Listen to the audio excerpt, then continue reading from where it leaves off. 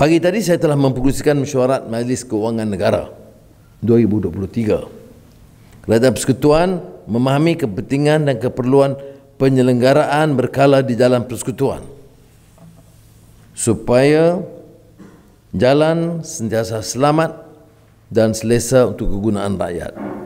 Ini khususnya melibatkan masalah jalan raya berlubang serta sebagai antara penyumbang kepada kemalangan jalan raya.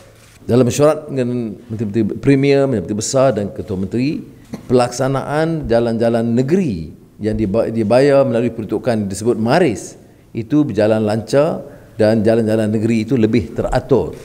Tetapi ternyata jalan-jalan persekutuan itu menghadapi banyak masalah.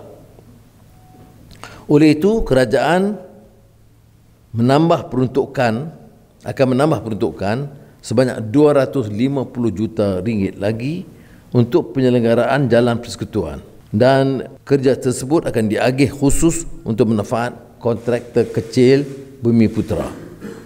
Maka peruntukan penyelenggaraan berkala pavement dalam persekutuan sebanyak 750 juta ringgit yang diumum dalam belanjawan madani 2023 kini meningkat kepada 1 bilion ringgit. Hmm.